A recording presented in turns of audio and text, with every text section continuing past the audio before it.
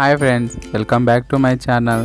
ఇవాళ రెసిపీ అల్లం మిరియాలు అండ్ అలానే నిమ్మపండుతో కషాయం ఎలా ప్రిపేర్ చేసుకోవాలో చూపించిపోతున్నాను ఇది జలుబుకి కానీ తలనొప్పికి కానీ జ్వరం ఏదైనా వచ్చినా కూడా ఇది ఇన్స్టాంట్గా ఉపయోగపడుతుందండి.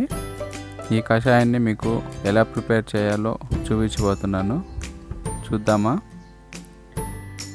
ముందుగా ఒక స్టీల్ బౌల్ తీసుకొని అందులోకి అర లీటర్ వరకు ఆ వాటర్ని యాడ్ చేసుకోండి. అలా వాటర్ మరుగుతున్నప్పుడు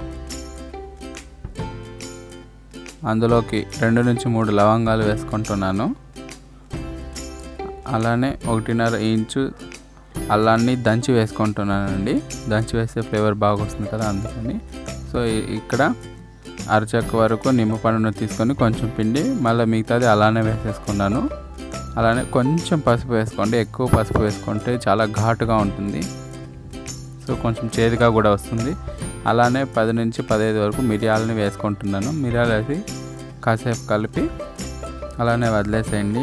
బాగా మరగనిచ్చాలండి. అర లీటర్ వాటర్ పోసుకున్నాం కదా పావు లీటర్ వచ్చేంత వరకు మరగనించాలి.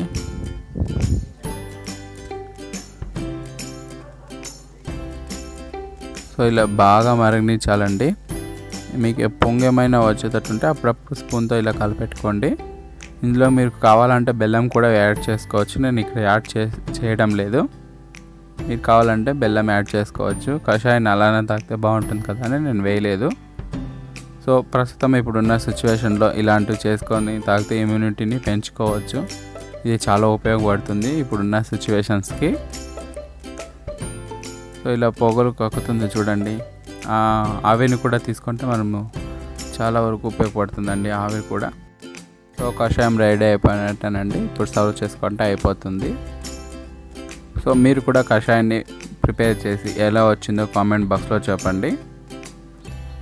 ఎవరైనా నా ఛానల్ని ఫస్ట్ టైం చూస్తున్న వాళ్ళైతే please subscribe my channel friends.